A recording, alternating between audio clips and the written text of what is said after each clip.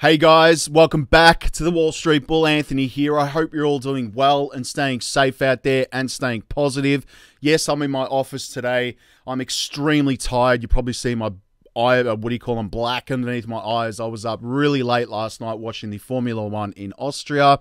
And of course, then I switched over to Wimbledon because we had a fellow Aussie in the final, as everyone knows, Nick Kyrgios and Novak Djokovic. And I'm glad Novak Djokovic won the uh, match, just putting it out there. anyway, uh, yeah, so it was a really late night. I ended up going to bed at like 2 o'clock in the morning. Anyway, there's a lot happening in the crypto space. There is an update in relation to the Ripple versus SEC lawsuit, they are really playing hardball, ladies and gentlemen. They do not want information out to the public.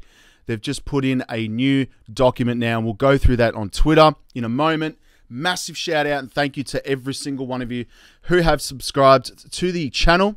I really appreciate it. Thank you very much. If you are new to the channel, make sure you smash the subscribe button down there and turn on that little bell notification as well because as you can see right here, I love documenting my journey with investing with cryptos, dividend stocks, growth stocks, talking about passive income, building financial freedom. And yes, my goal at the end of the day is to build generational wealth. So come on this incredible journey it's been incredible so far, to be honest. Uh, also, if you can give this video a thumbs up, watch it straight through, it would really help me push this channel out to a lot more people because the YouTube algorithm is absolute magic when you find, ladies and gentlemen, do that. So smash the thumbs up. It doesn't cost you anything. It's down there. It's free. Thank you. You guys rock. You are all legends. Also, little disclaimer I am not a financial advisor. Please do your own research and due diligence with this stuff. I do not want to see anyone get financially hurt. That is why my number one golden rule is I only invest what I can afford to lose. And yes, we don't like to lose. You can lose money like that, especially in crypto, all right? So please be careful out there. Do your own research and due diligence. This video is for educational and entertainment purposes only. All right. Formalities are out of the way. Yes, I probably need about another 10 triple espressos because I'm extremely tired Anyway, I'm still giving you guys a market update because it's never a dull moment in crypto. That is the reason why I love it so much. Anyway, let's go to the community tab. All right. So I started in crypto in 2017. Yes, that that's basically what I did. I started in crypto in 2017. I bought Bitcoin, and the funny thing was, um, because the market went quiet, I just let it sit there. And yes, i I'm up on my Bitcoin right now. So again, long term, have not lost on Bitcoin. Straight up.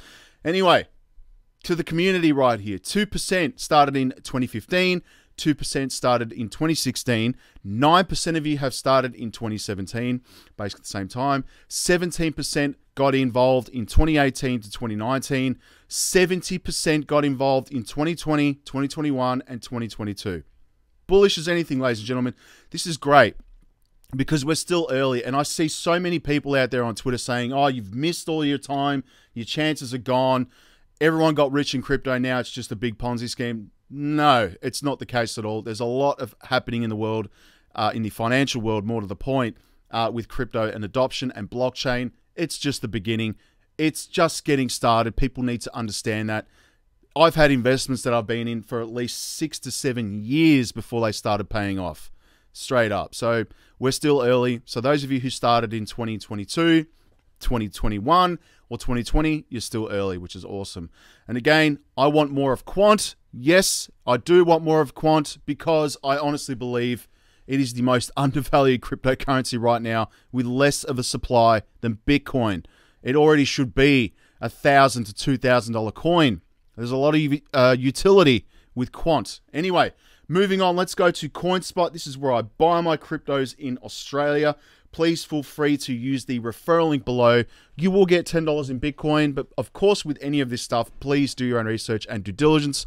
Someone has just slammed the door in my uh, office building there. I don't know why. Sorry about that loud noise. Anyway, let's have a look at these prices. Yes, they are in Australian dollars. Just to clarify again, Australian dollars because this is an Australian exchange. Everything else is set to USD because I'm catering for everybody around the world. All right, Bitcoin sitting at 30,000 Australian dollars today, which is nice. It's down 2.77%. Not too worried about that because it will go to 100 to 250,000 dollars. It will. Ethereum, $1,700 today. You've got XRP at 49 cents. Some updates about the Ripple case as well. Still bullish on Ripple and XRP. Do you think it can hit $50,000? I mean, crazy stuff. Anything is possible. I'm staying positive about that. Cardano is at 68 cents. I'm bullish on Cardano as well. Solana's $53. No, I'm not investing in Solana because, again, if there's a lawsuit again, this $53 will drop dramatically. Honestly, it will. Doge is at 9 cents right now. Polkadot's at $10. You've got Tron at 10 cents. Moving down, you've got Matic at 83 cents. CRO is at 17 cents. You've got Link at $9. You've got Stellar at 15 cents. Near Protocols at $5 right now.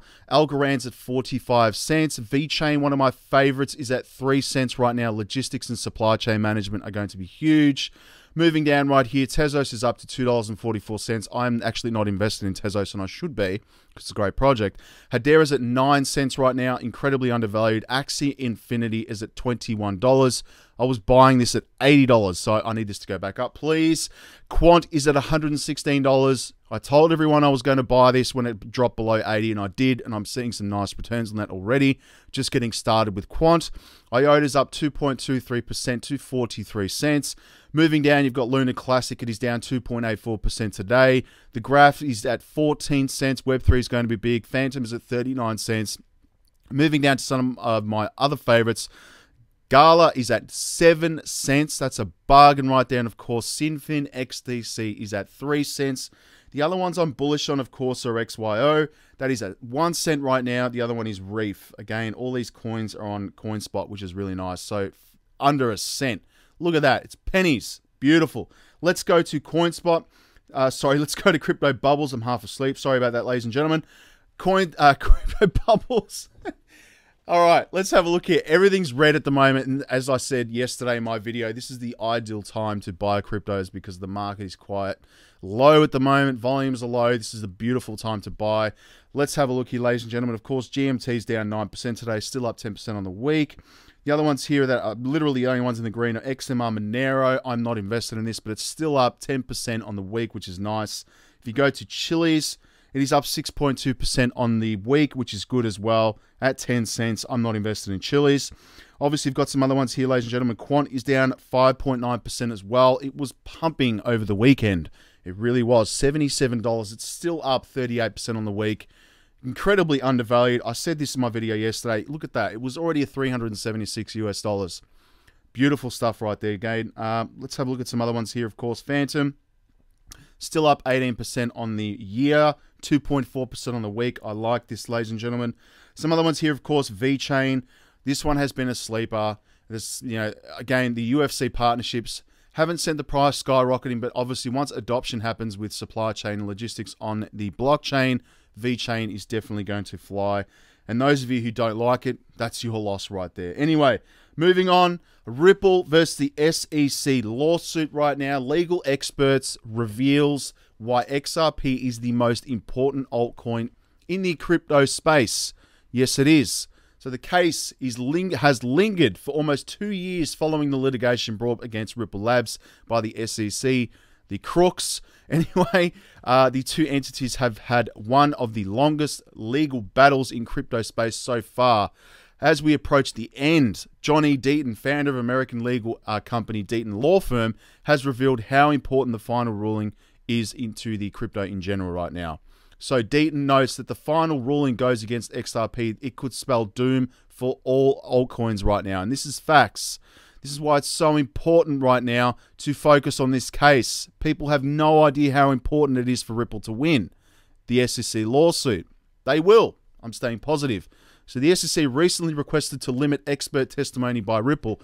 Now, there's been an update today as well from uh, James K. Filan. We'll have a look at that tweet, so make sure you stay for that.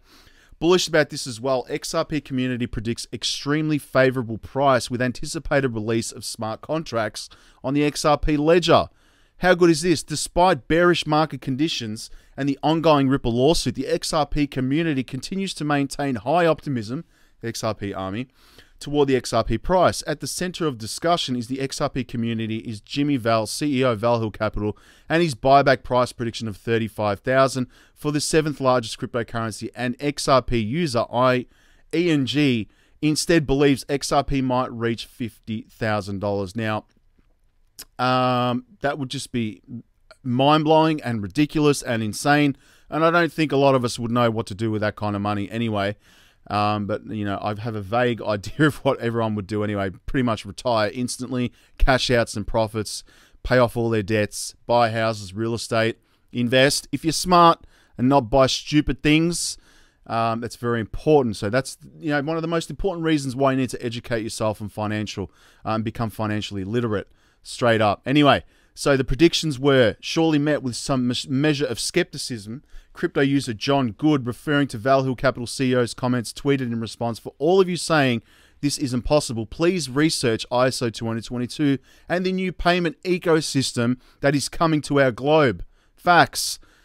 He, Jimmy Val, is simply saying for XRP to be across the be the cross-border payment token that is is each sorry that it is each coin must have an equivalent to the asset that it's moving, which is trillions.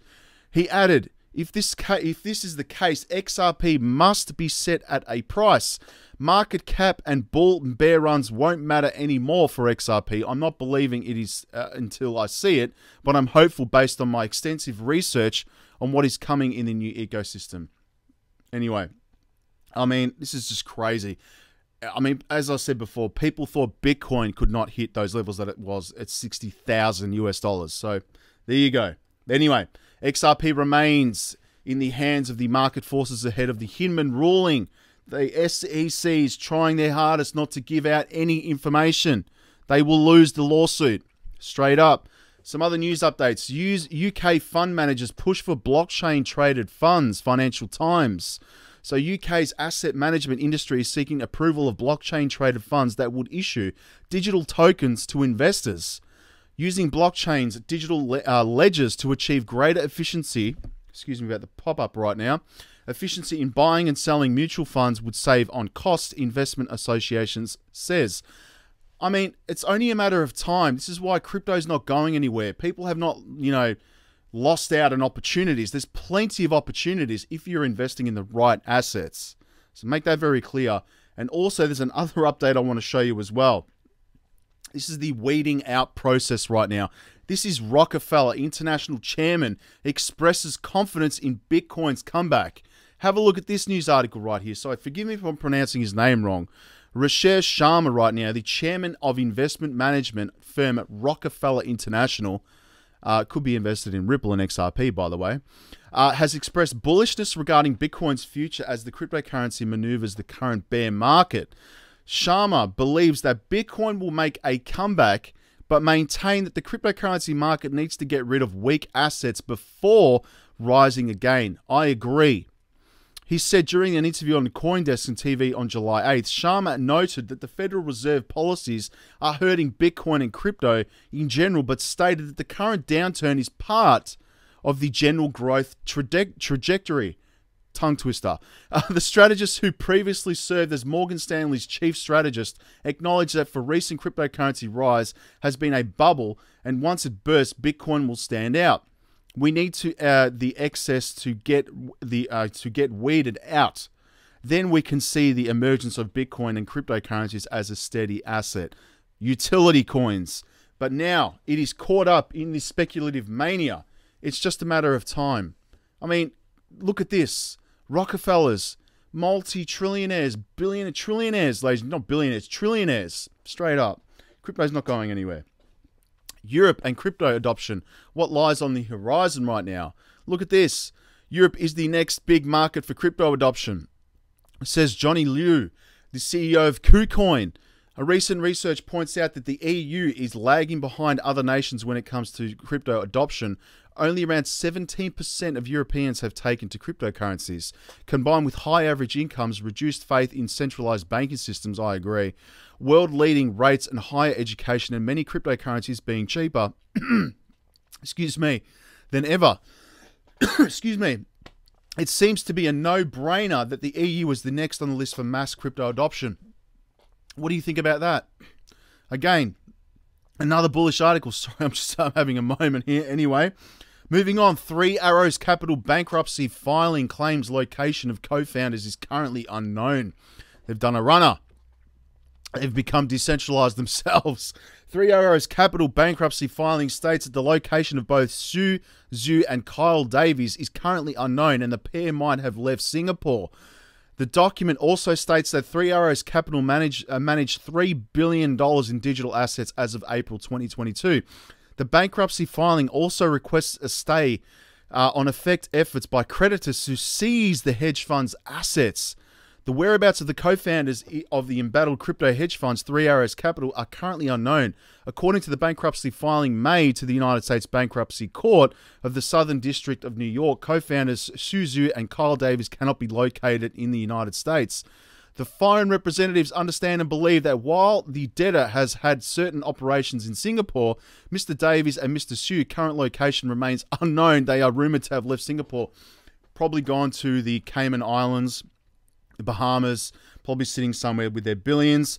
Let's go to cryptometer.io, ladies and gentlemen. Of course, you've got in the last day. Let's refresh this because this changes every five seconds, honestly. Let's go down here. You've got Burger. I don't know what that is. Solana, XMR, Monero.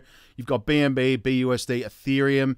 You've got XRP, OVR. You've got BCH, RAD, and Maha. Don't know what those ones are, Maha and, and obviously RAD, RAD. But anyway, that's where the money's been flowing. Of course, it's nice to see XRP there. If I go to World OTC, yes, this is live. This is my actual trading OTC. It's been working really nicely, making 3.2% profits per day. Again, I'm using the iMacro script, which is automated. My computer is on 24 hours a day. And again, if you don't make all the trades, you're not going to make 3.2%. Again, I like this. I only threw in 200 USDT, basically 199 USDT. It's now sitting at 532. Again, I like this because they're using Google Authenticator to withdraw your money and not relying on text messages. But again, this is high risk, high reward. You can see all the profits being made right here, two, two USDT, two, two, two, two, two. So this is in one day right here. So again, really nice. I'm just going to leave it in here see, and basically take out my initial investment, which will be soon as well. Probably when I hit around 600. USDT, I'll take out my initial investment and play with house money, and then it's just upwards from there. But please be careful with this. High risk, high reward. It's free, linked below. Please do your own research, of course. Let's go to Twitter because there's, again, never a dull moment in here. So this is crazy. The moon here, Carl Runefelt. I love your channel, man. But the future of Bitcoin right now, citizens storm Bank of China in the Zhengzhou over frozen assets right now. So this is pretty crazy stuff. So again, they're absolutely destroying the bank.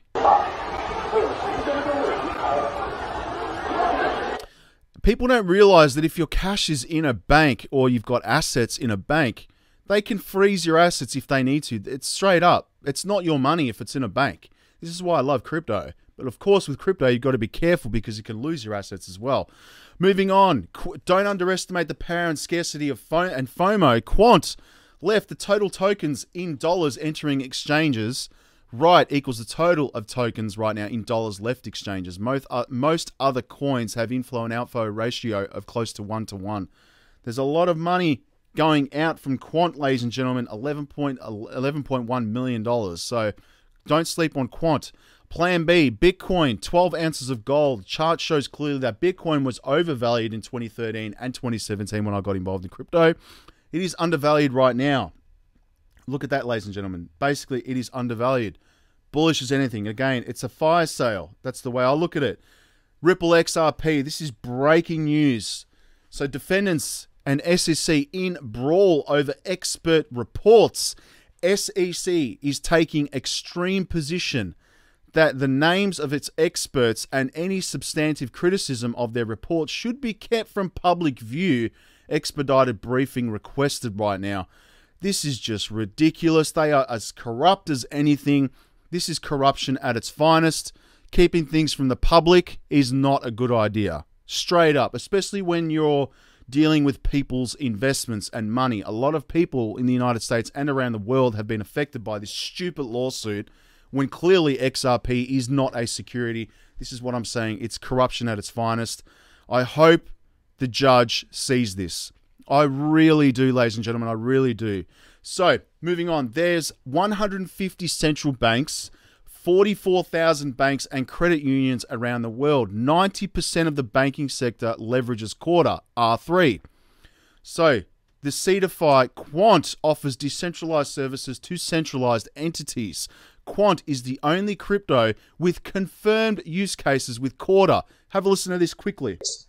Fargo and, MasterCard and NASDAQ. So, you know, as I mentioned, about 90% of the banking sector leverages Corda. So this is a huge use case. 90% of the banking sector. Come on. It's unbelievable right here. XRP, thanks CoinsKid on the idea that the Phase B is similar to Phase A but a little bit extended. If XRP keeps on rhyming and the same fib targets the RMET in 216 uh, dollars is inevitable and imminent right now. So again, we could see a massive uprising in Ripple and XRP. This is interesting right here. Jim, uh, Linda P. Jones and Jimmy Val again discussing glitches on crypto exchanges could be stress tests for XRP. Interesting. Have a listen. A lot of unusual activity on exchanges, like glitches and things of that nature. And even, truthfully, I know a lot of people at, on certain days, even myself, if you go back to the last all time high that we had of 384 or 380 plus, whatever it was, you know, a lot of people believe that that was even a stress test on the system at the time, testing things and of that nature, even though the whole market was moving, that it was operating under the, under that understanding to be able to stress test the system. Any thoughts on that, Linda, at all?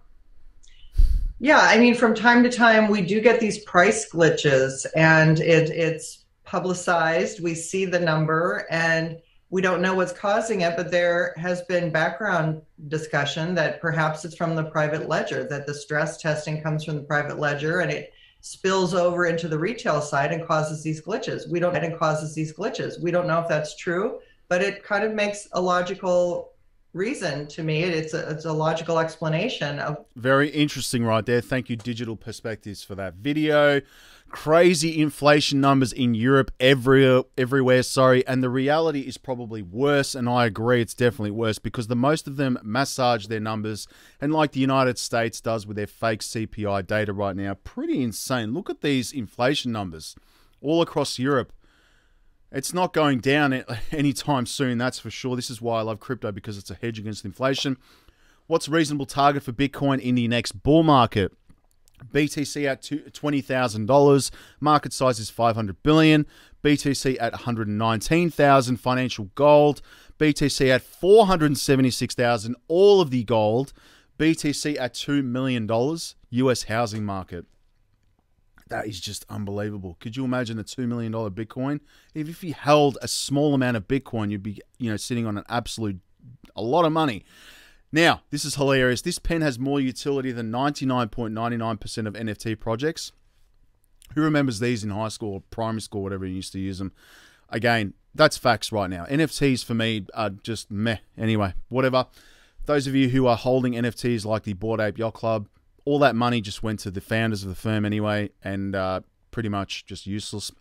Anyway, moving on. Price is not the same as valuation. Price is what you pay and is the outcome of current supply slash ask and demand slash bid market dynamics. Value is what you get, and is the and the outcome of the valuation model that looks at the same underlying signal that cuts through current price noise right now. Bitcoin is moving upwards, and I don't care what anyone says. It's just growing, ladies and gentlemen. It's in a bit of a sideways movement, but we could expect some serious movements with Bitcoin. Just stay positive and stay think long term. Do stuff that makes you happy and don't worry about what other people think. I agree. Moving on right here, no one is really going to help you or give you direction. In fact, the odds are against you. And I retweeted this for a reason because I've basically said this self education is key. You can achieve anything you want in life, have a goal, and take small steps. All right, there's a lot of educational tools right there. You have everything in the palm of your hand, and advice can always be found uh, on the internet. Just make sure you're seeking it from the appropriate source. That's basically it. And stay positive, more importantly. Bitcoin archive. If you own less than one Bitcoin, make it your life's mission to get one whole Bitcoin someday. No matter how hard it feels right now, make it your goal and give it your best shot. Again, that's bullish as anything right here. This is interesting right now. Thank you, Riz, for this tweet. CBDCs are unlikely. This is interesting now. Basically just going into CBDCs not being likely for a very long time. Some other stuff right here. Uh, Justin, worst of liquidations is likely over, says Lyn Alden of Bitcoin on Bitcoin right now, and I agree. Celsius Network hires lawyers to advise it through potential bankruptcy and re- restructuring plans. The Wall Street Journal reports. Very interesting, ladies and gentlemen. There's a lot happening in the crypto space, but again, it's it's it's like basically Monday morning. Anyway, uh, Sunday there, or Sunday evening in the United States, Monday here in, in Australia. Let's go to Coin Market Cap, 915 billion. Markets down, $55 billion in volume right now, 42% BTC, 15% Ethereum. In the reds right now. Again, the only coins I keep talking about on this channel are the ones right here, ladies and gentlemen. XRP, Stellar, Algorand, Hedera, Quant, IOTA, XDC. Incredibly undervalued and these ones will change the world forever. Honestly, it's already being done right now, but people just can't seem to look and you know see it straight up. All right, ladies and gentlemen, that's it for today's video. We'll talk to you in the comments. Stay safe. Follow me on socials. We'll speak to you tomorrow. Peace. Bye.